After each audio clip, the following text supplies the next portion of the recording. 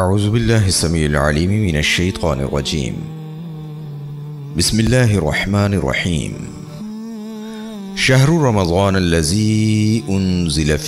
क़ुरआन रोज़ा नफ्स की सरकशी का ज़ोर तोड़ने में मददगार साबित होता है आम तौर पर दो चीज़ें गुनाह और अल्लाह ताला की नाफरमानी का बाइस बनती हैं एक नफ्स की बढ़ती हुई ख्वाहिश और उसकी सरकशी दूसरा शैतान का वजूद और उसका मकरफ्रेब रमज़ानुल मुबारक में सरकश शयातीन को जकड़ दिया जाता है, जिससे यकीनन नेकी के रुझान में इजाफा होता है और अल्लाह के खौफ का माहौल परवान चढ़ता है।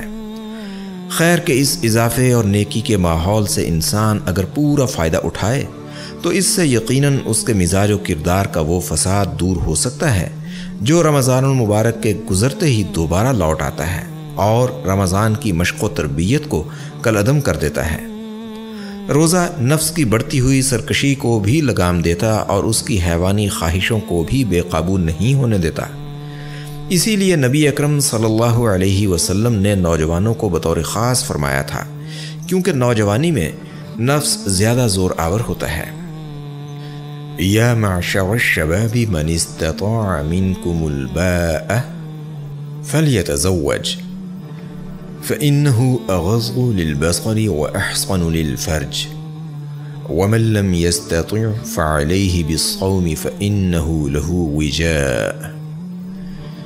ए नौजवानों की जमात तुम में से जो शादी की इस्तात रखता है उसको चाहिए कि वो शादी कर ले इसलिए कि ये शादी निगाहों को पस्त रखने और शर्मगाह की हिफाजत करने में बहुत ज़्यादा मुआविन साबित होती है और जो इसकी ताकत नहीं रखता तो वो रोज़े रखे, क्योंकि ये रोज़ा उसकी नफसानी ख्वाहिशों का ज़ोर तोड़े रखेगा। सही बुखारी किताब निकाह सही मुस्लिम किताब निकाह इससे मालूम हुआ कि नफ्स की सरकशी का ज़ोर तोड़ने के लिए रोज़ा मुमिद मुआविन है। इसीलिए एक और हदीस में नबी करीम सल्लल्लाहु अलैहि वसल्लम ने रोज़े को एक नफ़ा बख्श अमल करार दिया। हज़रत अबू उमामा बाहली रज़ी अल्लाह बयान करते हैं।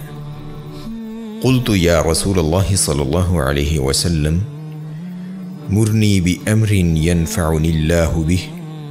क़ाल, अलैका बिस्सियामी फ़इन्नहु ला मिस्ल लह।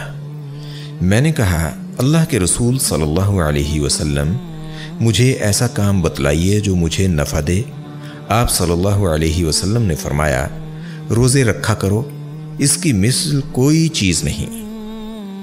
सुनन नसाई किताब क़याम रोज़े से सब्र का वस्फ रासिक होता है।